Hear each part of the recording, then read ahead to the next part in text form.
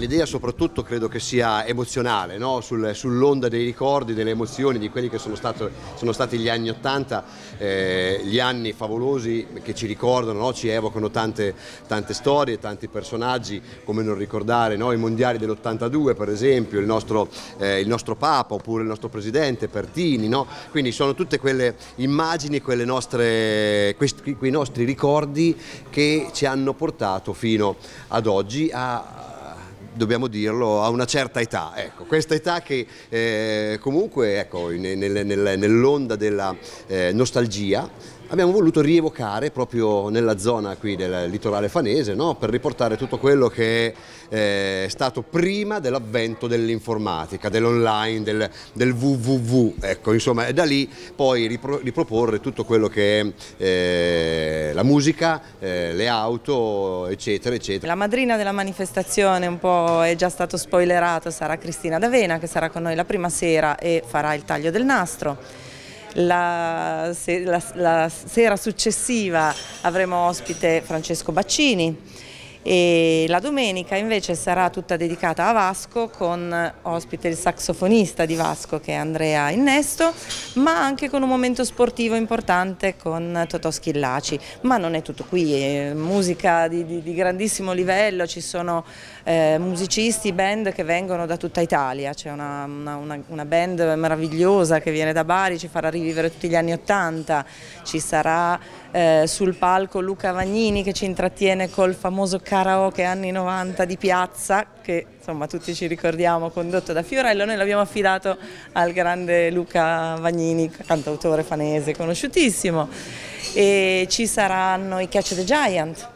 Eh, ci sarà Asia che è una rivelazione, una ragazza molto giovane che ci farà rivivere ehm, la versione moderna dei brani degli anni Ottanta. E quindi tantissima musica ma non solo, la zona party dove comunque eh, come, come l'anno scorso insomma gestita e, e con, con l'intrattenimento dei DJ set e eh, ben 14 installazioni fisse da Star Wars alle auto, dalla macchina del cinema, quest'anno ospiteremo Hazard, quindi avremo il generale lì, a tutti i personaggi di quell'epoca, al ristorante, la novità di quest'anno avremo un ristorante tutto dedicato anni, alle specialità degli anni Ottanta, eh, tanta arte, quindi eh, sia cinematografica con anche un grande ospite che è l'attore Giorgio Vignali che verrà a portarci Sapore di Mare che quest'anno compie 40 anni. E che altro dire, la mostra dedicata a Enzo Sciotti con, curata da Andrea Giumaro con dei pezzi inediti donati proprio dalla famiglia, Enzo Sciotti è mancato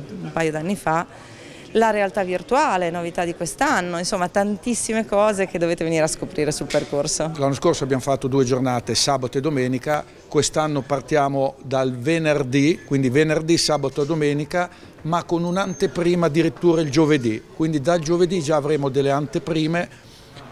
e poi avremo tre giorni di pura manifestazione. Fano che si attrezza come siamo abituati ormai da diversi anni a vivere un'estate intensa con tanti eventi, tante iniziative di alto livello e Boomerang ne è una conferma alla sua seconda edizione, quindi mi verrebbe da dire buona la prima perché ha avuto tanta partecipazione con eh, ospiti illustri che riguardano un po' quel periodo dalla musica al calcio alla radio, quindi grandi protagonisti ma è eh, Boomerang un evento anche per immergersi in quegli anni divertendosi. Mm, un'altra grande manifestazione, una settimana fa circa eravamo qui a tagliare il nastro nella zona del Lido, oggi siamo qua con un'altra grande manifestazione che richiama gli anni 80-90, una bellissima dia di on stage ma in realtà di tutti gli esercenti del Lido che collaborano con una serie di aziende, una serie di associazioni culturali che vanno veramente ringraziati perché fanno una vivacità culturale enorme,